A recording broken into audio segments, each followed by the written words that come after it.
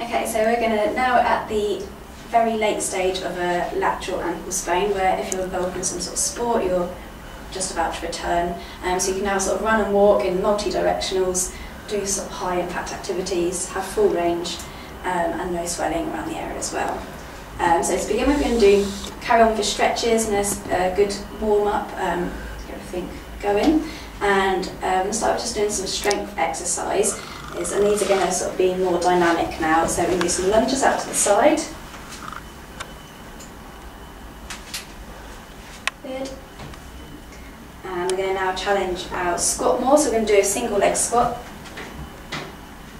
So you can do this on a raised surface so you can get a bit more range of movement as well.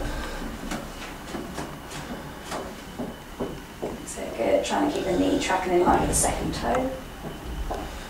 As well, try and keep your hips nice and level.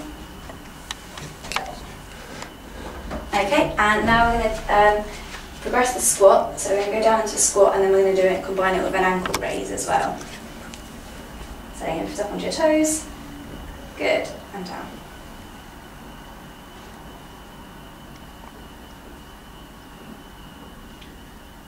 Excellent. Okay, so now I'm going to work on some more plyometric exercise. So this is where it, you're able to um, accelerate and decelerate and be able to control the, the joint through that. So first thing we do is just jumping onto the trampette or stepping.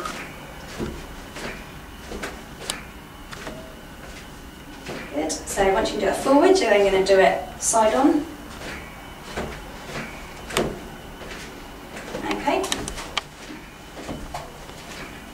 And then we're going to do some jump squats. And again, you can do some on a trampette or just on a flat surface. Good. And to make that harder, you can sort of hold down in the squat as well to work the endurance a bit more as well. Good.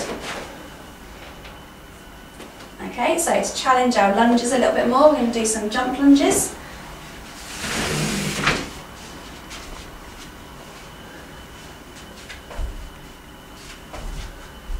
So, good. And to challenge that further, you could put an, another unstable surface at the front, so just on like a cushion or something like that. Um, and last, I'm going to just simply do hopping on one leg.